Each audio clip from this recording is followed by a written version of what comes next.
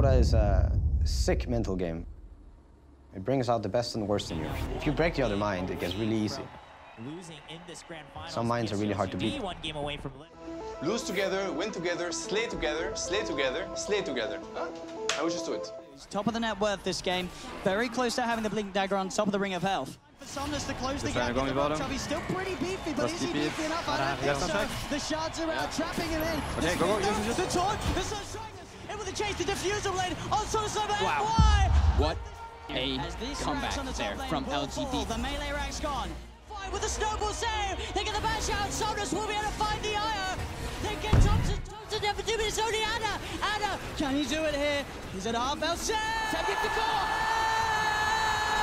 He gets the call of his lifetime.